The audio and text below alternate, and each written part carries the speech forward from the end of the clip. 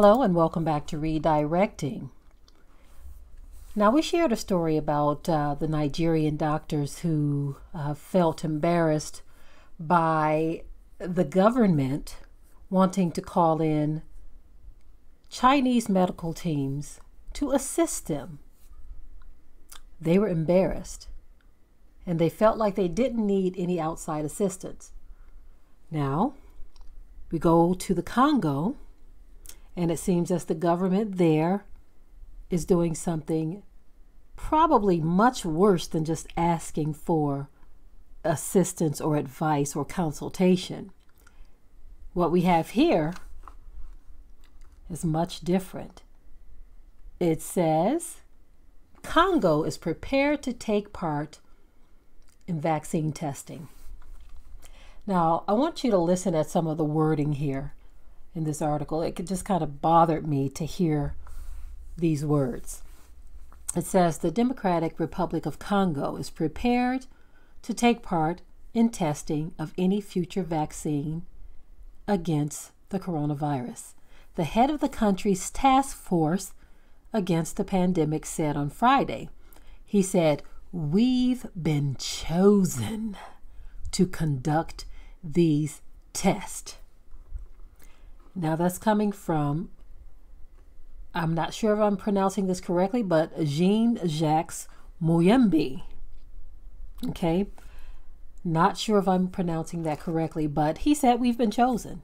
He feels that they've been chosen to conduct these tests. Now, correct me if I'm wrong, but are we not in 2020?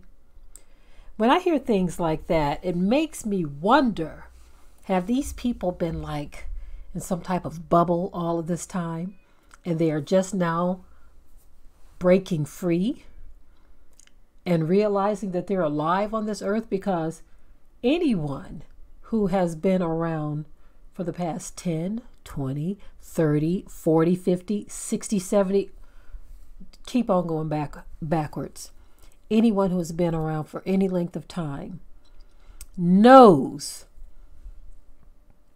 that this move to test Africans is highly suspicious. If he doesn't know that, if he doesn't realize that, if he doesn't believe that, I have no idea what to say for a person who thinks this way. I wish someone had something else clarifying that he meant something else because I'm having a hard time accepting the fact that he believes they were chosen. It says the vaccines will be produced, will be produced in the United States or in Canada or in China.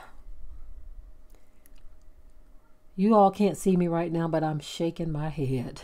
Mm, mm, mm.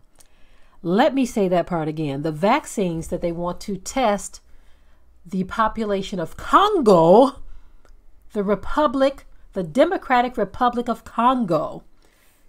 They want to test their population. Let me tell you again where the vaccines are produced. It says the vaccine will be produced in the United States or in Canada or in China. And yet, this man, Jean Jacques Muyembe, believes that they've been chosen. Huh. It says, We're candidates for doing the testing here. Muyembe told a news briefing in comments that sparked controversy in the Congo amid charges the population was being used as guinea pigs. Muyembe suggested the clinical trials could begin in July or August. so if he says that they will begin in August, July or August, this is him basically saying that he believes that this virus is still going to be around, just circulating and just doing what it does. At some point, COVID 19 will be uncontrollable, the virologist said. The only way to control it will be to vaccine, just like Ebola. It was a vaccine that helped us in the Ebola epidemic. Now, this is this is what we are hearing people say.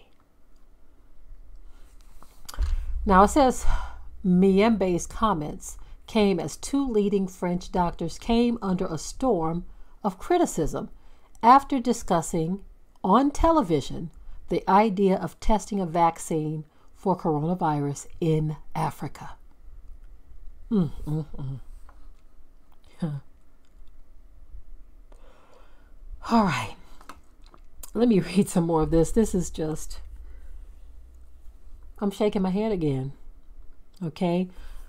Camille Locht, head of research at the National Institute of Health and Medical Research, and Jean Paul Mira, head of intensive care at the Cochin Hospital in Paris, suggested that Africa offered better conditions for testing the vaccine. What do you mean, better condi- conditions? What do you mean, better conditions? What do you mean, Africa offers better conditions? They have the fewest cases. You have more cases in Italy, but you want to test people in Africa. Okay, their remarks sparked furious criticism with the French anti racism NGO SOS Racisme saying no Africans aren't guinea pigs. Even former international and Ivory Coast football star Didier Drogba joined in.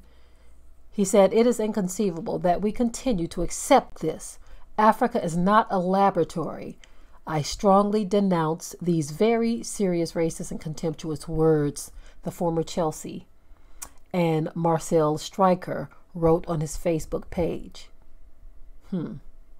It says, Help us save lives in Africa and stop the spread of the virus that is disabling the whole world instead of seeing us as guinea pigs. It is absurd. Now, again, you're saying, Help us save lives. That, that statement, in and of itself, is saying that you need help outside of your own population. You're looking outward for help. I think with the vast resources of Africa, they should be past this point of asking and wanting and needing help. But anyway, I just wanted to share this story with you uh, concerning the fact that this Jean Jacques Muyembe is feeling that the population of the Congo have been chosen, like this is some type of divine choosing. I'm still a little taken back by that, a little confused, but um, let me know what you think in the comment section. Let me know what you think. If you haven't already, please subscribe, share this video, and like it. With that, I am out. Be sure to ring the bell to be notified of new uploads on this channel and also comment, share, like, and subscribe.